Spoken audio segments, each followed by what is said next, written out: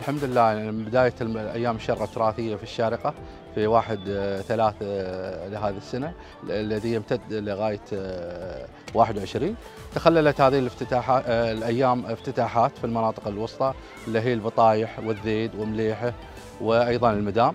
ثم انتقلنا للمناطق الشرقية اللي هي وادي الحلو آه، مدينة كلبة مدينة خرفكان. آه، أيضا اليوم نختتم الأيام في هذه المنطقة الجميلة منطقة النحوة. في هذا الحي الجميل وجود اهالي المنطقة اللي يعني الجميع منبهر منبسط من هذا المهرجان. آه، فرحتهم يعني اليوم لاحظناها.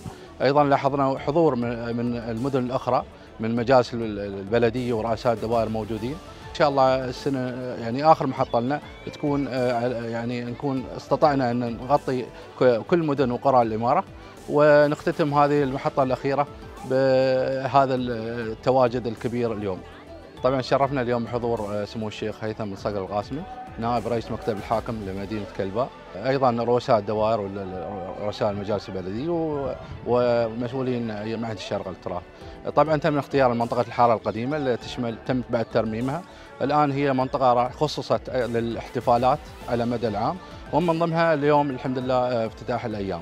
آه، طبعا لاحظنا اليوم وجود الفرق الشعبية وجود الأكلات الشعبية وجود ال- ال- ال- الحرف ال- ال- اليدوي اللي موجود اللي تخص أهالي المنطقة والمأكولات الشعبية.